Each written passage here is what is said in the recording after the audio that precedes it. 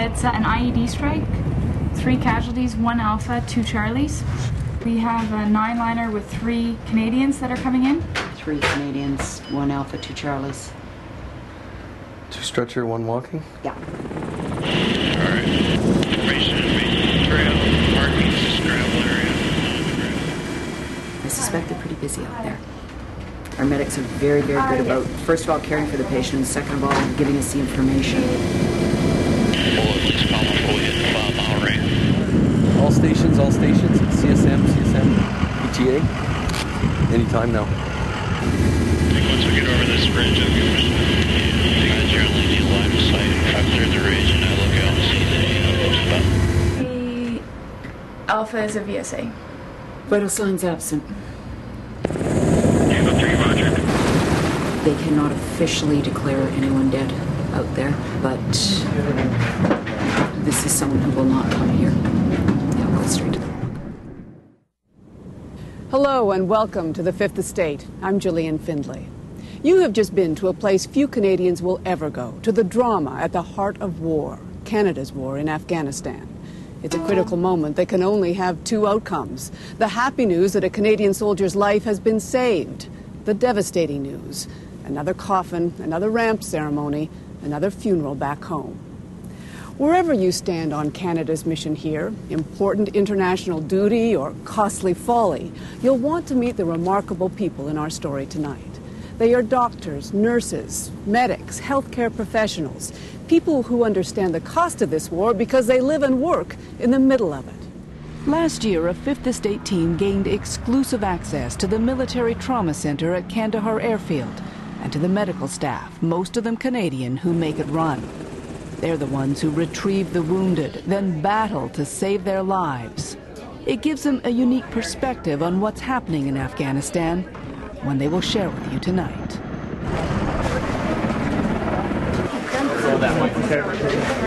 One, two, three, roll.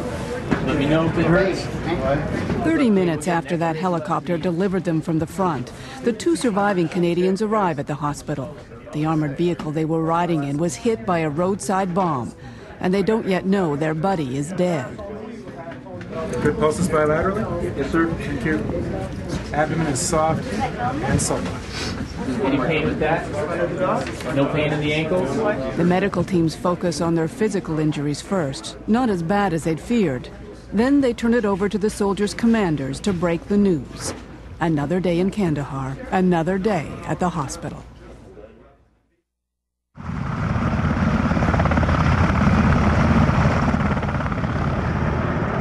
Unfortunately, around here, there's no quiet time. Jets are always taking off, planes are always landing.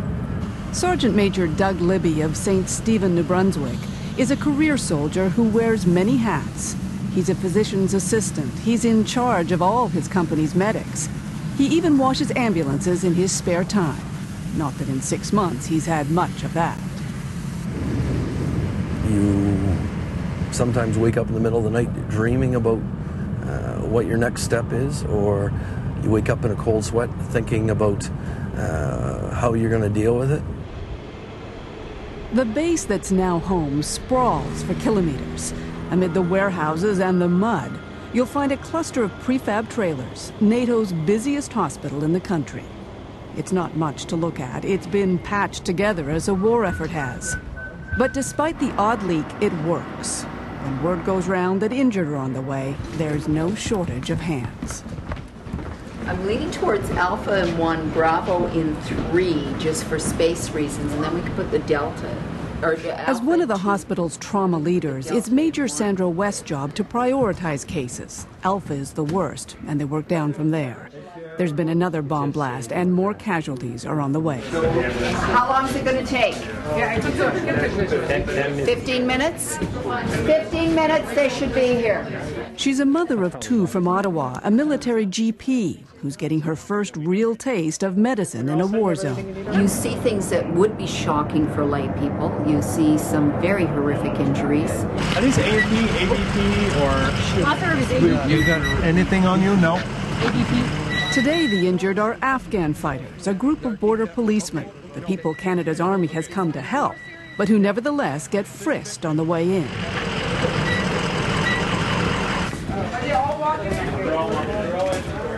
Once in, though, the treatment they get is exactly the same. The truth is, most of the fighters who end up in this hospital are Afghan.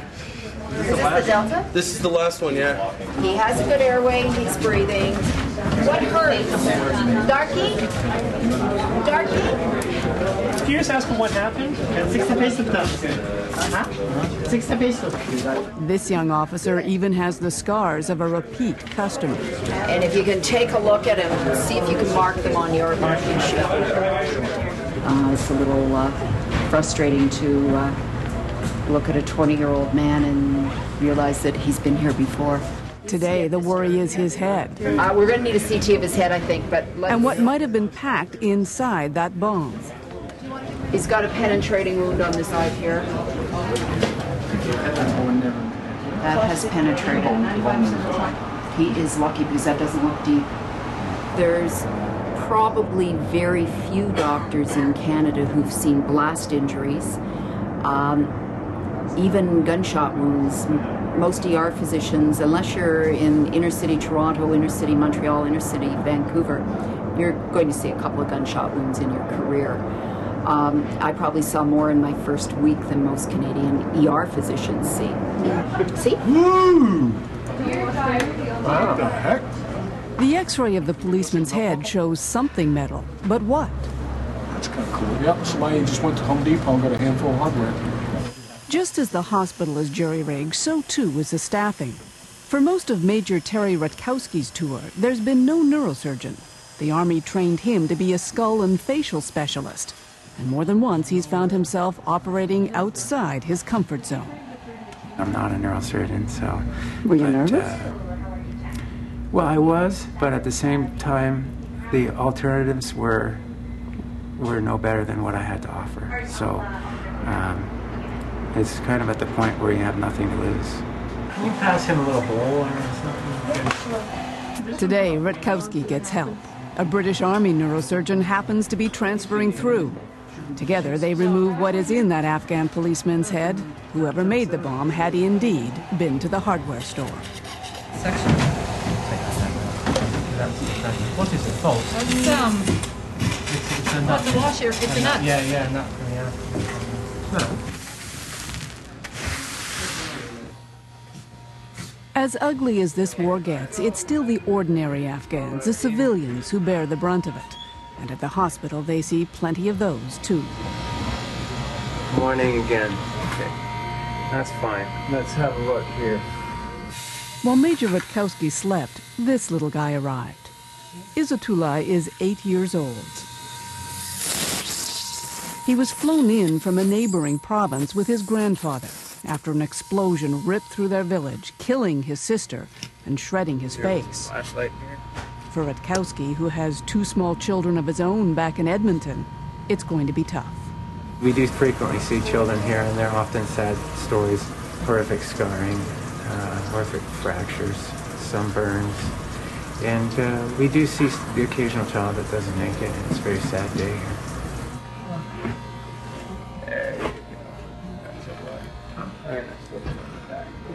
It's not immediately clear Izzatullah will make it either.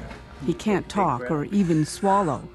He's in pain, and there's no doubt he's afraid. Perhaps that's why no one's really sure what happened to him. For now, it doesn't matter. What he needs is surgery. Just like his grandfather. As if turning over his most precious possession, his grandfather carries him to the operating room. It will take Rutkowski and his team 20 hours to repair his face to save his life. It was a critical injury. It definitely was. Uh, could have lost his airway and uh, and uh, basically suffocated uh, due to the injury itself. Uh, he was part of the group that had the bolt in the brain. In the meantime, the parade of injured Afghan fighters continues. This one's arrived out of the blue with wounds that are turning nasty. This guy's an ally, eh? He's, he's one of the good guys. And he was he was blown up a few days ago and uh, and uh, shipped off to a civilian facility that had no capabilities, and he's been wandering around in limbo for the last number of days. Captain Neil Pritchard trained as a military doctor, but after 16 years in the forces and having seen no action, he left. Then came 9 11 and Canada's decision to go to Afghanistan. I trained my entire life for this, and I am a great believer in the fight against terrorism. Uh, do I believe in the attempt to stabilize this country? Uh, sure, if we can do it. But Pritchard's the first to admit that the slogging is a lot harder than he'd imagined, and that he didn't understand just who would be doing the bulk of it. We were led to believe that this was a low level insurgency. But, uh, and it may very well be from the Canadian and Allied standpoint, our casualties are not that severe. But these poor Afghanis are taking it on the chin daily. They, whereas we might lose one or two, they're losing 20 or 30, or 40 or 50 or hundreds. So what really surprised me was the amount of combat that is in fact going on. We're ready. Go. Let's go! The Canadians may be losing fewer, but when they are the incoming, there's no question the mood is different. When we hear it's Canadians, you could almost hear a pin drop here in the trauma bay uh, until we hear uh, what the injuries are, um, how they're coming in, uh, and then we start talking within ourselves how, what the game plan is. That's the B1. Where do you want it? One or two? Get it down. Uh, his pressure's been good. It's been like 109, 71. The talk, unlike in all those TV dramas, never gets very loud here. I face C-spine. Control and discipline are essential to this kind of work, especially when the wounds are serious. Yep, go ahead now. Two Canadian soldiers have been helicoptered in from a forward operating base.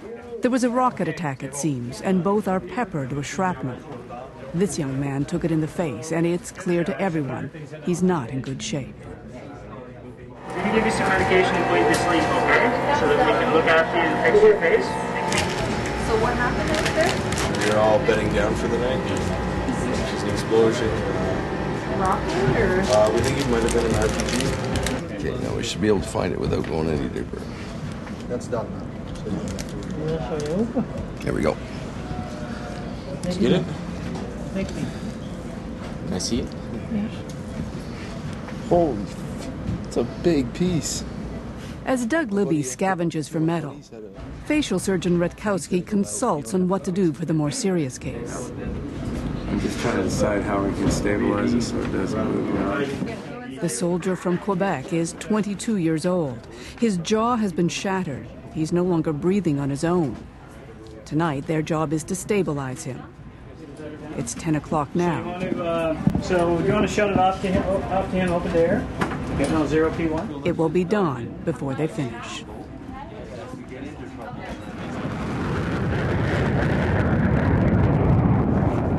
At the Canadian run trauma hospital in Kandahar, patients don't tend to stay long. But as soon as we know a time, we'll let you know. After an operation that lasted all night, the young Quebec soldier with the shattered jaw is about to leave to be airlifted to the finest medical treatment the military can offer, first in Germany and then back home. He's very lucky in many ways. He had very serious injury that uh, uh, was about a centimeter away from taking his life. So, uh, but right now he's very, very stable. So he's he's had a good course, um, and uh, with some reconstruction back home, I think he'll he'll make a, a good recovery. One, two, three. Thank you guys very much. Thank you.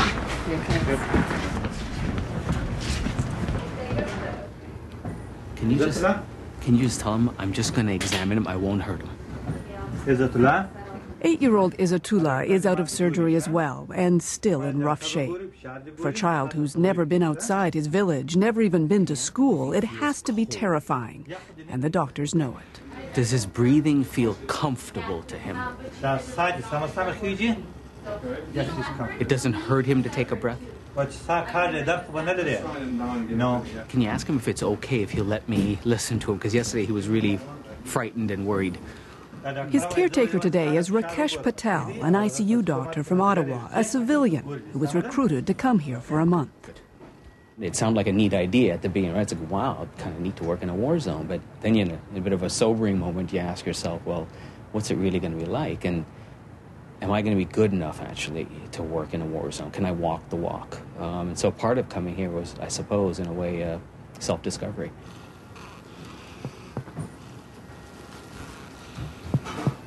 Sounds much better. It may have been self discovery for Patel, but it was self interest for the military. The Canadian Forces just don't have enough specialists of their own. The other part about being here and seeing all this stuff is now what can I learn from the way the military manages mass casualties that I could take away from here and apply to the management of casualties in, in a civilian disaster? He'll probably be going back to the room he was in yesterday. See if we can help this mouth become a little bit better and less painful. Good. All right. The Canadian soldiers who serve here believe they are making a difference. At the hospital, they see the price. They know that when those convoys of healthy young soldiers head out, it's only a matter of time before some of them will be headed back in, and another trauma will have begun. First one right here, guys. Today, it's another four Canadians hit by another roadside bomb.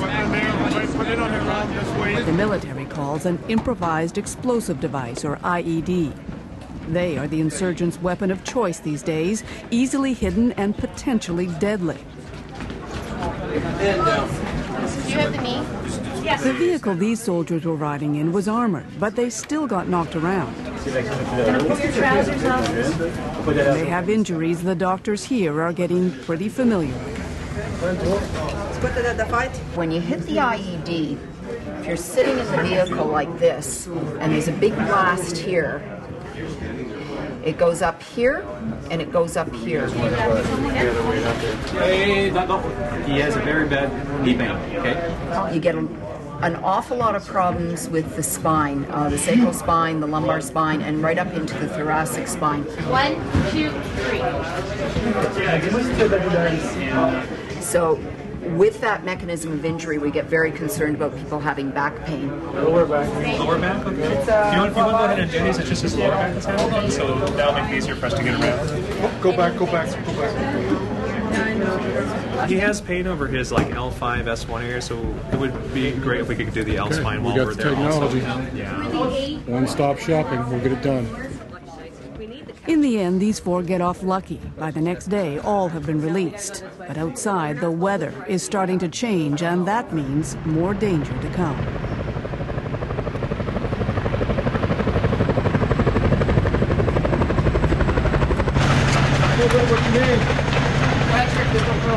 Hi, Patrick. I'm Chris. A few days later, another two Canadians are brought in. B2. Hello. Hello. Just hours after that, another three. Most are from engineering units tasked with securing and resecuring territory the Taliban keeps winning back. X-rays.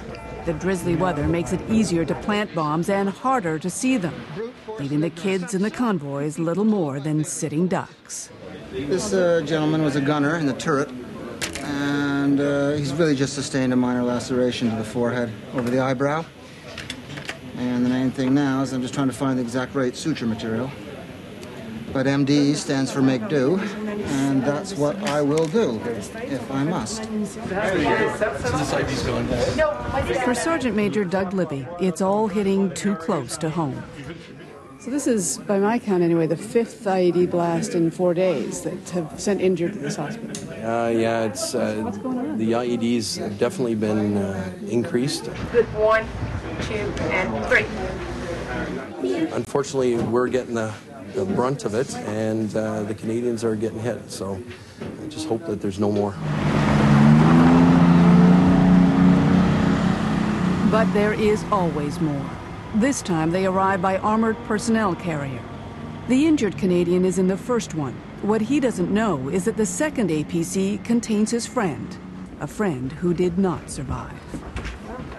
what we need to do is concentrate on his physical needs and then step in and concentrate on his uh, psychological needs. I can suture the lip. The mood is even quieter now. The young private has broken his teeth and he'll need dental surgery. But he'll need a lot more than that once they tell him the bad news. We'll have mental health very close by, ready to step in. The Padre always comes for these, uh, so he will get all the support he needs once we know he is physically stable. When I see, you know, a young person stand in harm's way for, for us, um, the, the biggest thing in my mind is, and why are we here? To the guys back home in, in Parliament who debate this thing, or for lack of thereof, do they actually really know what it's like at the sharp end of the stick? Because this kid does. Right? And it's the old saying, old men create wars, young men fight them. And you see that every day here. And I think that's a lesson learned. I think that's a lesson that needs to be learned. Fait que aucune douleur au niveau de ta mâchoire ici en bas. De tes joues ici. You must remember freedom isn't free, to use a cliche. And that the cost of freedom is lives. A factor that Canada had forgotten for 40 years, thinking that we were just a blue beret country. Well, we're not. When you have a conflict, it is unfortunate young people die. It's sad. As a senior Canadian doctor on duty, Sandra West has another job today, officially declaring the Canadian soldier dead. They've lost 11 on this tour so far, and while it's only a few hundred meters from the hospital to the base's morgue, it's a trip that never gets easier, no matter how many times she makes it. It's very unusual for patients to die in the hospital. Uh, and when we go down there, we know that we could not have done anything for them, so all we can do is get the information we need to help early. You're a mom? Oh, yeah. Uh, by watching you, you, you're a mom to a lot of these kids, too. You never stop being a mom, I guess. As it, when you go into there and you, and you know what you're going in to do, I know there's a mom at home. So I do what I can. Thanks.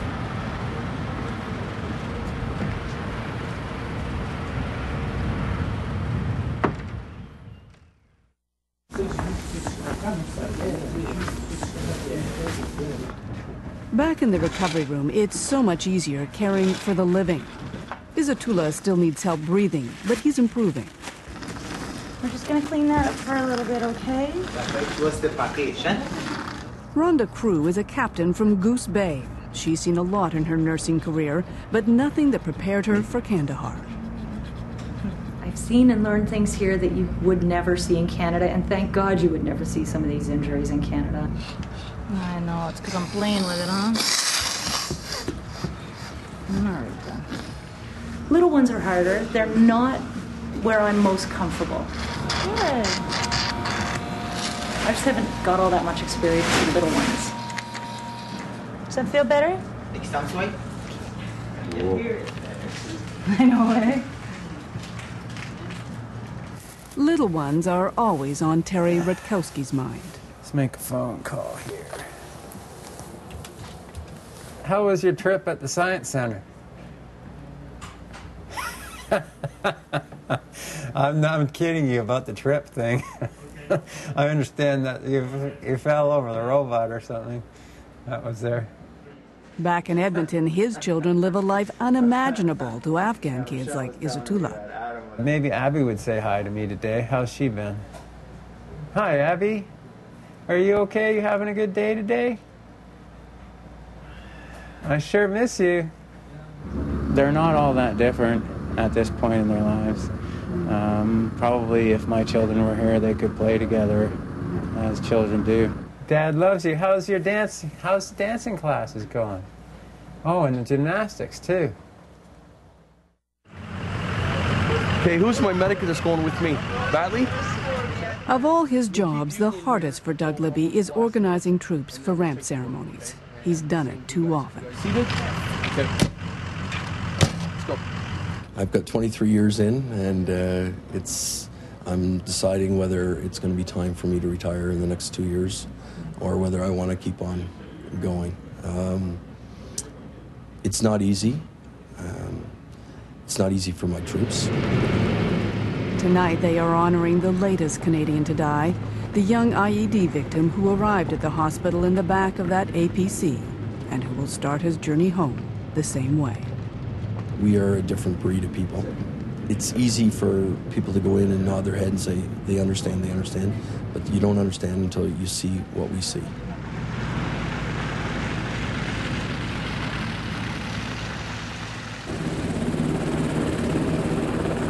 If you're an injured soldier in Afghanistan, this is the sound you want to hear. And this is the person you want to see. In addition to working the wards, Rhonda Crew, the nurse from Goose Bay, flies medevac duty, retrieving casualties from the front. While we're flying, we are constantly scanning. We're just like this the whole time. And basically, we're just trying to make sure that we don't see any flashes, which usually indicate a scope or a metal object, which would lead us to believe small arms fire or anti aircraft. Anything that we really don't want coming our way. You get the report, you get an idea whether it's an Alpha Bravo Charlie saying how serious it is. But until you actually see them, you don't really know how it's going to be. And yeah, you hear leg injury, but you don't know is it going to be an open leg injury with the bone sticking out or is it a bruise? If they get to us alive, then they live. It's true, the hospital has a great record.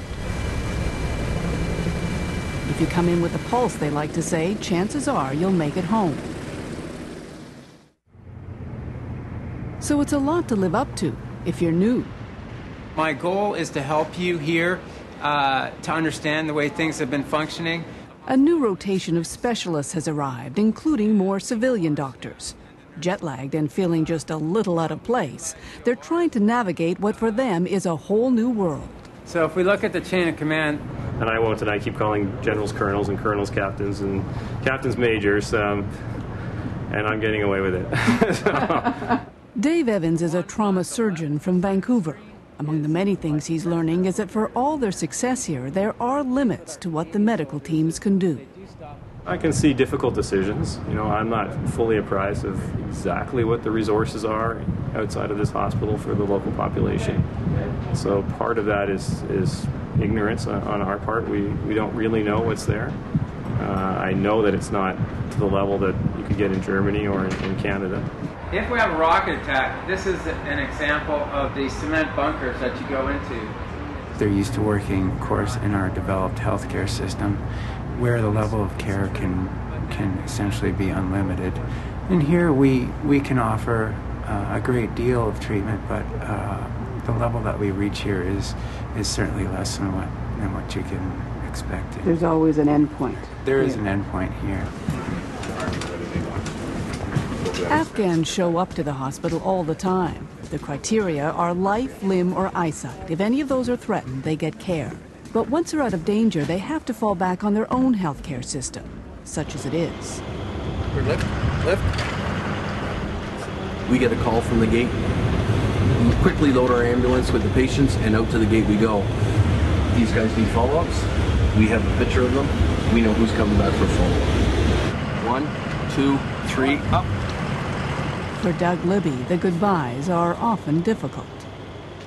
I mean, back in Canada, we have the luxury of saying, come back and see us. Here, they might live so far away that they can't come back. So, you know, as they're going out the door, that's the last you'll probably see of them. So, the follow up care that we'd like to give, sometimes it's just impossible to give here.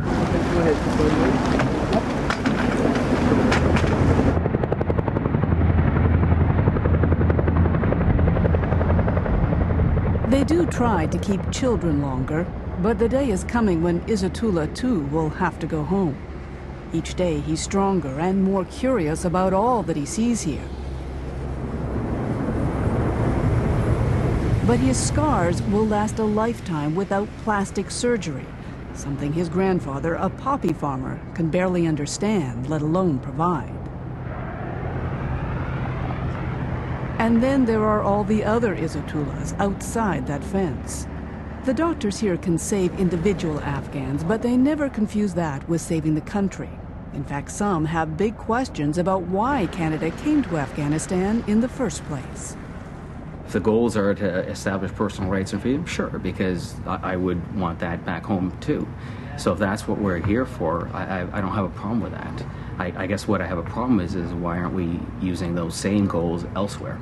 You know, why here? Uh, what's so special about Afghanistan that the people of Darfur are lacking, or Burma is lacking, or mm-hmm. elsewhere? Mm-hmm. Um, so in that sense, I'm still in conflict as to whether I should be supporting the overall mission, as you call it, as opposed to the very local mission of, of what the mm-hmm. hospital is all about. There's no shortage of things to be conflicted about here, and sometimes they walk right in the door. This man is a prisoner, an Afghan who was captured fighting against the soldiers this hospital fights to save. Just make sure no one's in there, and if there are, push them out. Under international law, they must treat detainees, but they can't know their identity. To prevent the Afghan from knowing theirs, he wears a blindfold and earplugs. For Dave Evans, still in his first week here, it's nothing short of bizarre. What's his name? Same there? Detainee. Nope, it's right here. Okay, what's I don't, I don't have his chart. I have eight people around me for an exam, um, but I can't see the face of my patient. He can't see mine. And I cut these things out. Okay. And then we'll have a look inside. I'll, I'll probably open this up. It doesn't look terrible. I mean, we can't really talk to each other, but through an interpreter. Interpreter? Yes, sir. Do you want to just let him know? Uh, We're just going to take some pictures. He's got his earplugs off so he can hear. Okay. I'm gonna give you this, okay? That's okay. That's fine. Um, so I don't really know anything else about him than his wound. Sorry, does that hurt? Ask him if that hurts. In a different context, this might be a man who is out to kill you. Yeah, we think about that, um, and that's why everyone's identity is protected. Um, I guess, you, yeah, you just have to deal with that. I, I, he's a patient, and I'm going to fix his wound and try not to think about the rest of it. When you're in the business of saving lives, there's often no time to think or to ask questions. For all the good care Izzatullah has received, no one had ever asked his grandfather what really happened, who did this, until we did. It turns out it was Dutch soldiers, the good guys, who attacked the village. According to Grandad, they panicked after one of their convoys hit an IED. So did he see the soldiers firing? وای تاسې عسکر ولرل چې ټکانې کول و عسکر خو نو په ټانګانو کې وو پر دغه کې وو. و Were there Taliban in the village? Were people firing from the village to the soldiers? وای آیا د کلي څخه طالبانو یا نور خلکو هغو ټکان وکړل یا یا کلی طالبان نه و څوک څوک طالبان چې په به و دا غبراله یا دا چې جنگ خلکو بارولې وتل The Dutch admit it probably was their troops who did this to Izzatullah and killed his sister. The soldiers thought they were being attacked. For Dr. Rutkowski, who hadn't heard the story before, it really didn't matter. I just like him to swallow, like, close, if he can close his mouth? If it's accurate, if that is true, how do you how do you feel about that? Patching up the kids who've been injured by the coalition forces. Well, I think if that was truly what happened, then I think it's even more important that we are here to provide that care. And then open. Yeah. Nice press. Yeah. Very good. Over the months, this is going to continue to change in shape as the tissue matures. So. Is he unable to swallow? He's eating, so he's swallowing. The drooling. Dave Evans came to Afghanistan wanting to do something to help. As he puts a face to the conflict, he's happy to leave the politics to others. I'm not sure that it's wrong. I'm not sure that it's right. Um, I'm trusting our government to make a good decision about this and to keep thinking about it as, as time goes. And I just know that you know this, this cannot be the wrong thing to be here to help. But that is a different thing than saying, you know, this, we should be here because I believe that the outcome of this is going to make us a better country. That's right. You know, I, am here in an apolitical context. Maybe that's an easy out for me, but uh, that's the truth. This evening, I'm afraid, we have three Afghan soldiers who were struck by a rather accurate rocket propelled grenade fire. We Need some more stretcher bearers? Back in the emergency ward, they're back at work. We have two significant head injuries, one of whom has a large deficit and difficulty breathing. Do we have vitals yet? One of whom has a clear penetrating injury and difficulty breathing. Can anybody get a pulse? The third, which has a uh, more minor head injury, although we don't know that for sure, but is also peppered with shrapnel. Can you ask him to see if he can wiggle his fingers for me? He's got a fairly sluggish heart rate. This one might get a little gruesome. There, okay? It's the cost of war, and this is war. And war is not polite, and it isn't neat. It is dirty, it is grimy, it is grubby, it is confused, and that's the nature of it. I think at this point we've seen that he's not responding to pain whatsoever. We have a heart rate that's been progressively climbing down. His blood pressure is starting to fall on us as well. We have an open head injury. I think we've done the extent of what we're able to do. I would like to call this code, but does anybody dissent? Despite their best efforts and that reputation for saving all who make it here, it's clear this young soldier will be an exception. Why don't we allow him to comfort measures and then we'll call it when they uh, says agree. So let's go ahead and. Uh, are you trying to keep that on there? Just trying to keep his order blood till his heart rate stops because it's still going to ooze till that his heart quits beating probably. Two Afghan fighters have been saved to fight another day.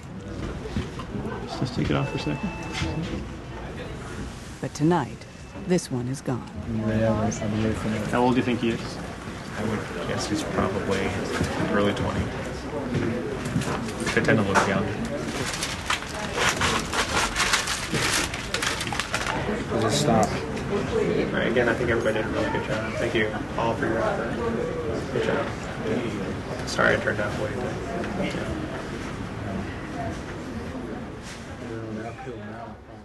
It's not all life and death drama in Kandahar. There's downtime, too.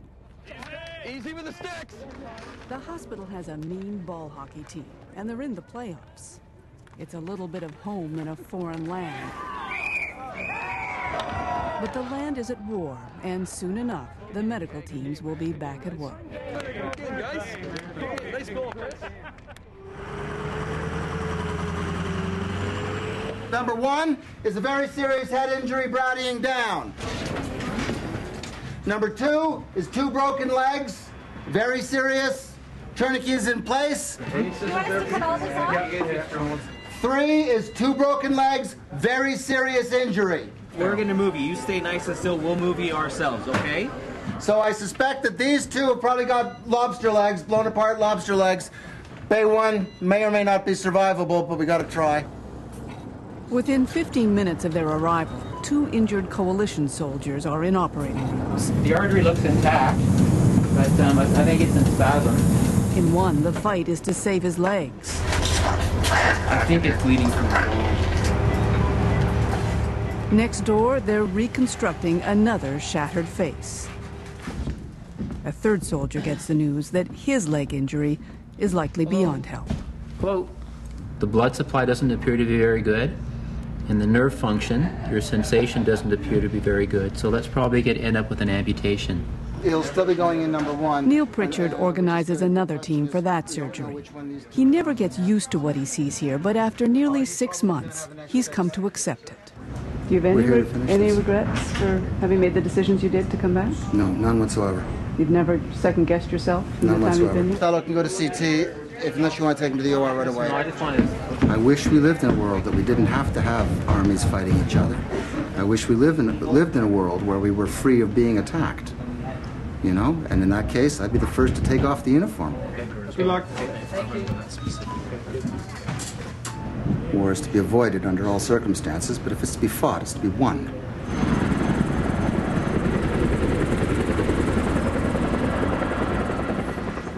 The time has come for Izzatullah to go home. So I've got the money here for their cab money back to Tarin Kowt. It's the 3000 They've done what they can here. The money is for a taxi back to their village, seven hours away. Is he excited to go home? For Terry Rutkowski and for everyone here, the moment is bittersweet.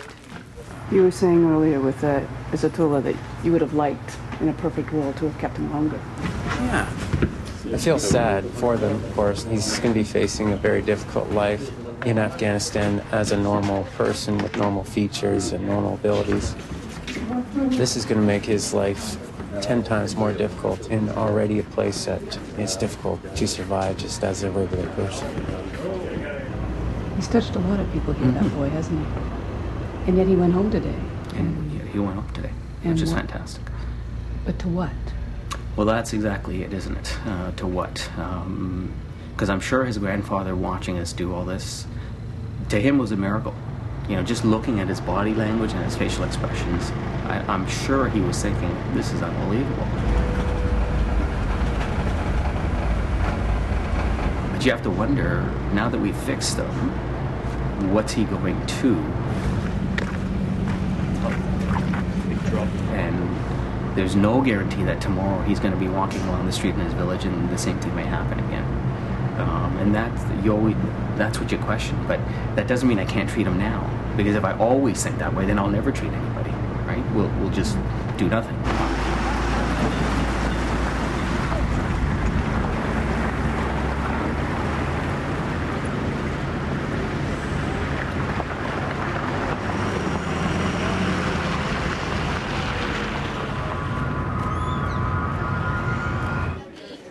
Wait, we're gonna have six. There's six people on the first bird.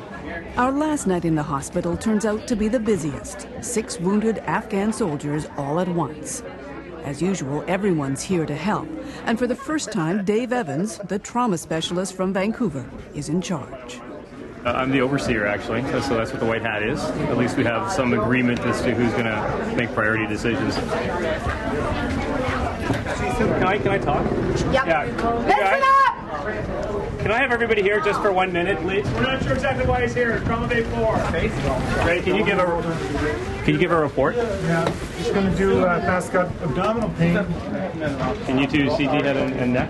Yes, Yeah. yes, of course. Sandra, do you need a do you need a uh, interpreter? Would that help you? You can use one, yes, please.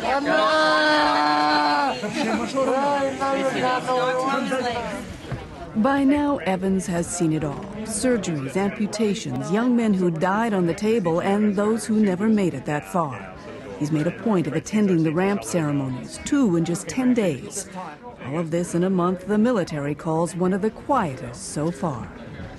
Since you've been here, what has your thinking changed? Has it evolved?